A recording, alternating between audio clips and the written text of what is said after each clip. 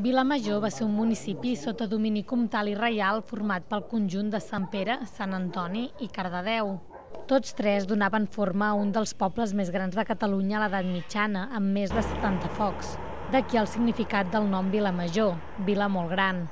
Amb els anys, però, es fragmenten i és del 1822 quan Sant Pere de Vilamajor és un municipi independent.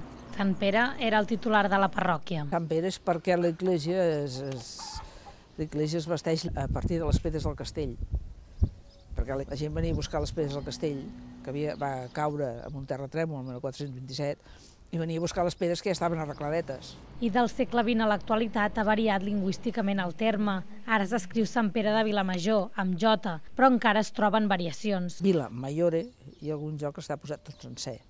I a vegades està a mi i a vegades està amb J. El Vila Magore amb G és és a posteriori. Vilamagore, així com alguns anomenen el municipi arrel de la gran festa medieval que se celebra des de fa 23 anys.